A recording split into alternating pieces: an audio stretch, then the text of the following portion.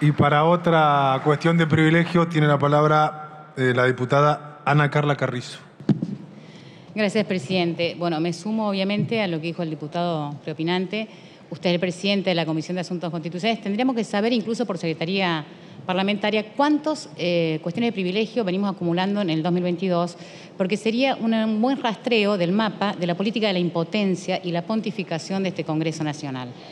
Eh, yo voy a ser muy breve, pero este parece que fue el inicio de esta sesión, parece que ha sido la sesión de los repudios que faltan tanto en los homenajes que iniciaron y como en, las cuestiones de privilegios. La verdad que eh, se han enumerado de un lado y del otro los repudios que faltan y yo creo que esto está demostrando que obviamente el INADI está funcionando pésimo en la Argentina. Y está funcionando pésimo porque este Congreso no exige cumplir con la ley.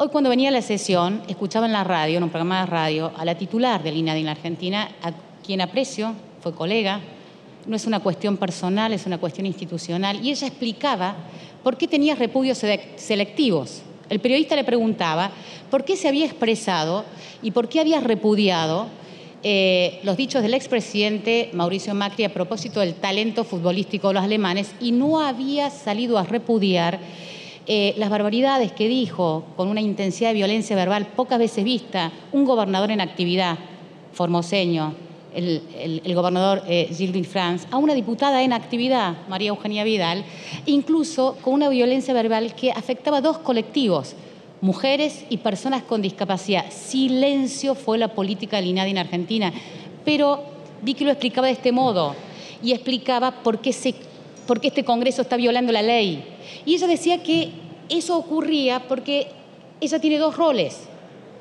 Uno es como funcionaria política, ella es dirigente política y allí elige qué repudiar y qué no.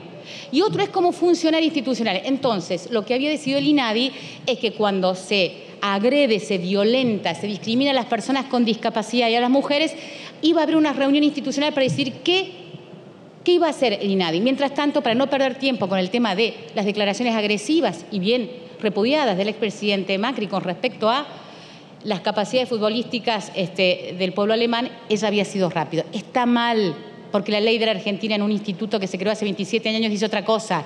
Dice que este Congreso tiene que tener una terna para garantizar que no haya una partidización de los derechos humanos en Argentina, porque los derechos humanos no le pertenecen a los gobiernos.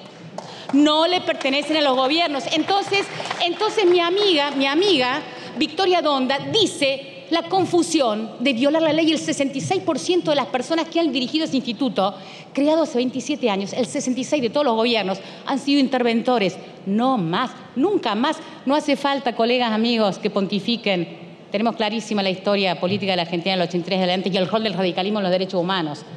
Entonces, seamos serios. Entonces me encanta y la verdad que celebro que hayamos podido prorrogar las sesiones ordinarias y tengo una petición para la presidenta.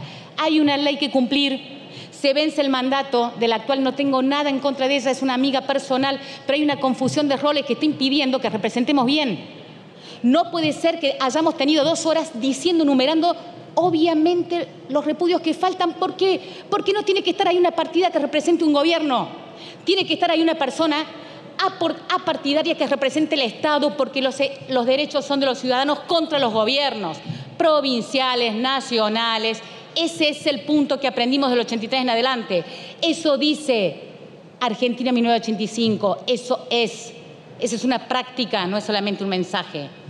Entonces, eh, ya que ahora hemos recuperado la idea de la prórroga de las sesiones ordinarias, a lo cual celebro esa decisión de la presidencia, digo, está la ley para cumplirla, que el Congreso ya piense, prepare la terna y cumplamos una ley que venimos violando desde hace 60, digamos, hace prácticamente 20 años. Entonces, asimismo, también quiero decir que te hemos presentado un proyecto de ley para que eso, además de esa terna, para salir del atolladero, se cumpla con la ley, podamos modificar y en el INADI esté una persona que sea partidaria y por concurso público de oposición y antecedente como corresponde, dejemos de partidizar y después empezar a venir a querer usar las sesiones para legislar leyes, para decir lo que no hacemos bien, no está bien hacer eso que estamos haciendo. Nos interpelemos nosotros mismos. Entonces, Presidenta, cumplamos con la ley, veamos si podemos, ante la sesión de fin de año, tener una terna y regularizar una ley que espera ser cumplida en la Argentina en un, en un tema clave, que es la protección de los derechos humanos en Argentina. Gracias. Gracias, diputada.